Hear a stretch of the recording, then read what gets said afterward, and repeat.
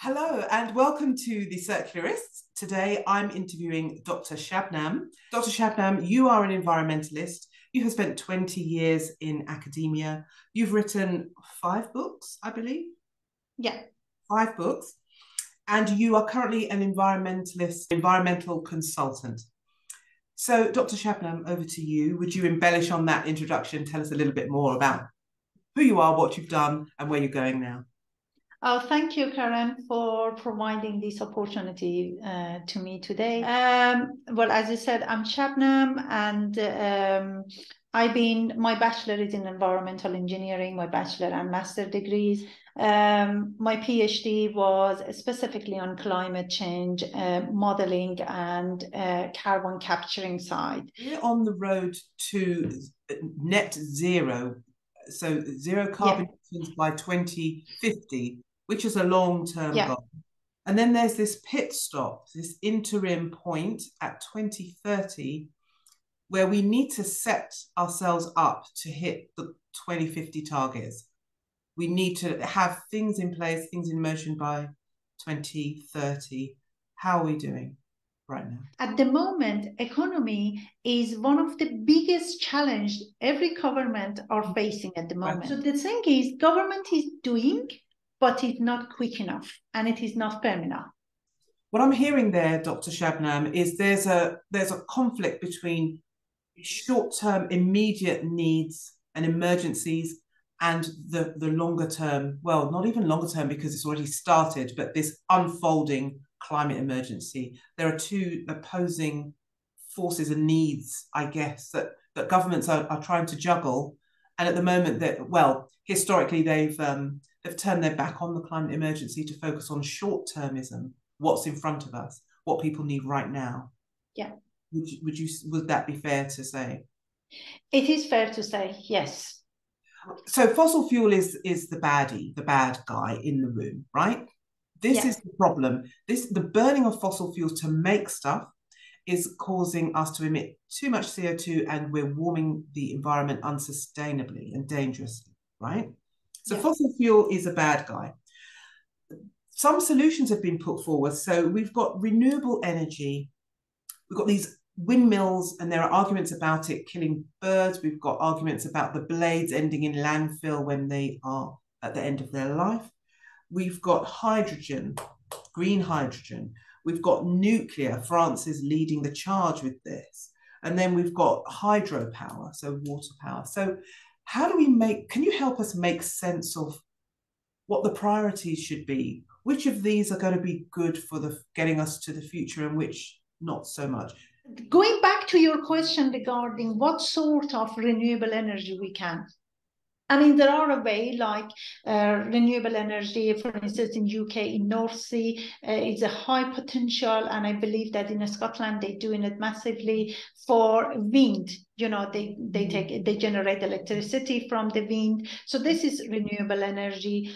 In mm-hmm. France, as you mentioned, yes, they are leading towards a nuclear um, plant and those nuclear plant is specifically they generating electricity another solution is thermal uh, renewable energy which we can, I mean, at the started slowly in Balkans countries and also Eastern European countries like Croatia, like um, uh, Bulgaria, like Hungary, for instance. There is a massive potential of thermal energy they can extract um, and they can, uh, you know, generate electricity by the thermal which is. So thermal meaning heat. So where's the heat coming from? From the earth, from the ground. They ah, dig in. Drilling they dig in because in those countries, in Hungary, for instance, is the source of springs. Okay. You know, those is those is coming all from the thermal energy. Right. So those thermal right. energy, they are thinking the best and even the most sufficient transmission is thermal energy. Right, right. Um, other one is waste to energy, for instance. All the waste we are producing at the moment, it goes to land uh, landfill. Right. So um, those waste can also uh, generate uh, electricity. We, How? I mean, How? uh, well, uh, yes, I mean, mm, plastic.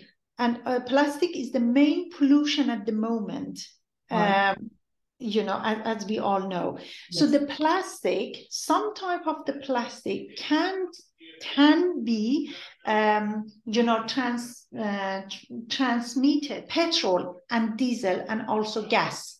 But the difference is these petrol and gas uh, and even diesel, th- they are harmless to environment Harmless? harmless to environment. It's not acting as a fossil fuel, but they are harmless to environment, and you can easily put it in your car engine. So you're But- you're saying there is a type of plastic that can be burned and used Yes. for car fuel and other energy sources Yes, that doesn't have a toxic emission as its byproduct. Is that right? exactly, exactly. We Really? have yes, November 2020, we have that, uh, I mean, um, innovative idea. And I did work on it very heavily to just, you know, uh, to have that knowledge of waste to energy with my colleague around the petrol uh, and uh, chemical engineering and petrochemical engineering. They were helping me as well. Yes, this is happening. And I was about to even introduce it in the UK as a, as a assembly and plant to just see how it is. But frankly speaking, um, the the companies, the big companies, are um, at the moment are working around the fossil fuel, are not interested because of the profit they are making. from the fossil fuel. So it's it's we always come back to this. We always come back to this. There is Yes. a high wall that they've built, and it's difficult to scale that. I've got a question for you on this, on this, Yeah, um, sure. on this plastic to cl- to clean emission-free energy. Would polyester clothing be part of the those special plastics that can be burnt cleanly, or no? Um, it could be. It could be the polyester one. It could be because the polyester uh, textile is, uh, as you know better than me. You've been working. I, I remember massively to make awareness in this area. Um, those are the amount of water and the amount of, um, I mean, heat uh, for producing the polyester textile is horrendous. Yes. And um, it could, yes, but um, to purely just use this polyester clothing um, is not, in terms of the uh, feasibility study of or profitability, um, not. It has to be mixed with the sort of the end-use plastic we are using, Right. Right. PVC, like PVC or other things. So Right. yes, the question is yes, but if purely to just do that, no. So by right, so by blending polyester Blending. with other plastic products, you could Yes. arrive at this clean emission solution. Clean emission, yeah.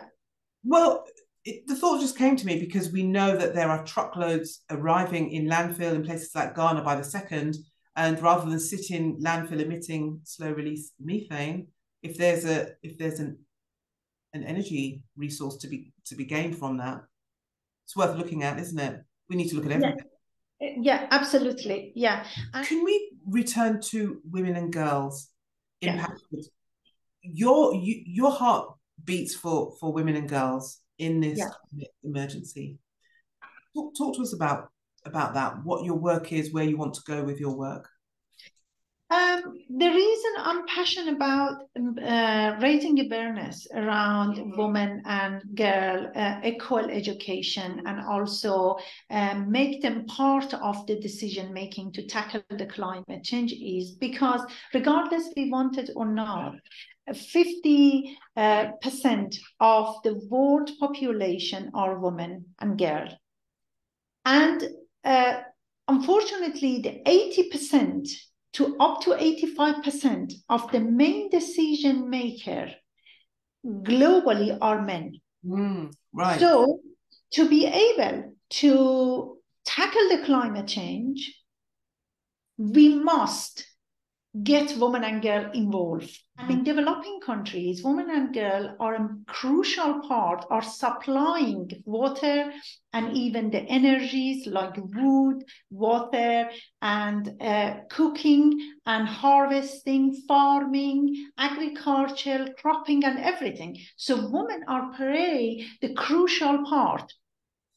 Dr. Shabnam, it may be controversial to say this, but it needs to be said that is it time for the world, especially men in leadership who have such disproportionate power, is it time to look at the mess we're in and say, well, perhaps part of this reason is that women have been precluded from sitting at the a seat at the table where decisions are being made. Is this not a symptom right now of this gender inequality that's so entrenched?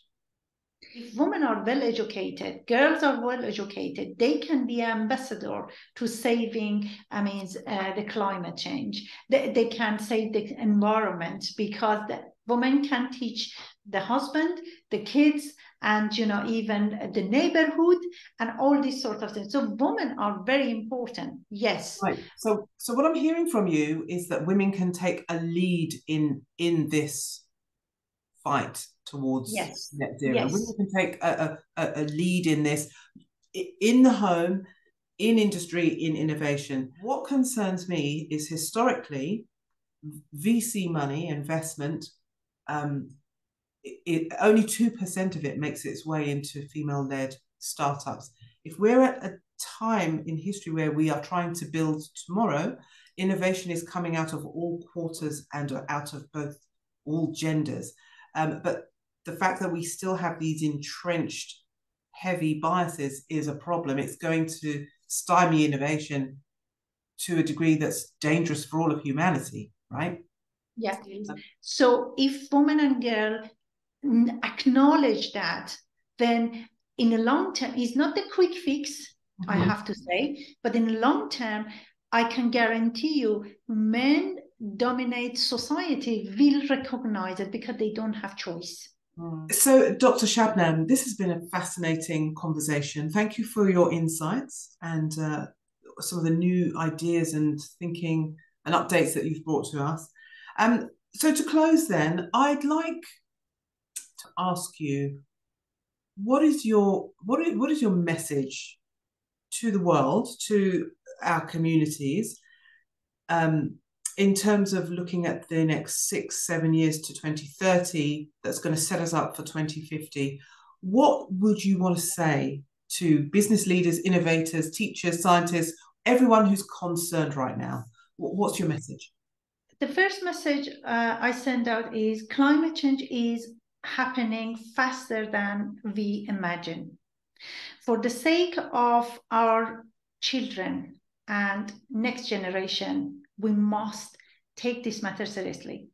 The second message I have for businesses, politicians, um, world leaders, make sure that to be able to tackle climate change, 50% of the population globally are women and girls. Please make sure that you have got leader, leadership, and also woman and girl in your panel for making decisions. Be fair, be sustained, and give more power, more funding, more opportunity to women if you're serious to tackle climate change, which you must be serious to tackle climate change. This is my message. Fair and frank. On that note, Dr. Shabnam, it's been wonderful spending this time talking to you. Thank you so much. Thank you so much. I'm sure we'll chat again in the future. Thank you so much to you for providing this opportunity. I was so delighted you gave me that chance to highlight the main issue and challenges, which is everybody's worrying uh, at the moment, and especially uh, every environmentalist like me. We mm. are um, we are deeply worried about the, the way the climate change is going. Thank you so much, and uh, for providing this fantastic platform uh, to everyone to be able to uh, their voice to be heard. Thank you so much. Thank you to you. Have a lovely day. Thank you. you.